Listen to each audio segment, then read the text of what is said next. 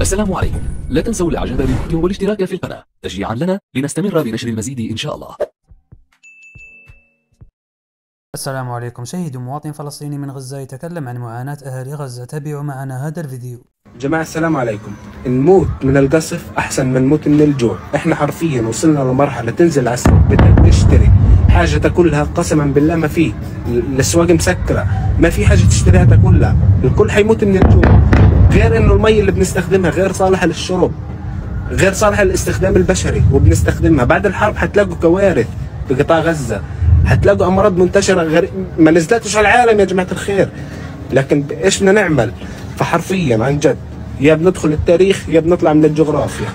اقتلونا أحسن ما نموت من الجوع. يعني عن عرض الذل مش إحنا اللي ننزل يا زلمة. اقتلونا ريحونا.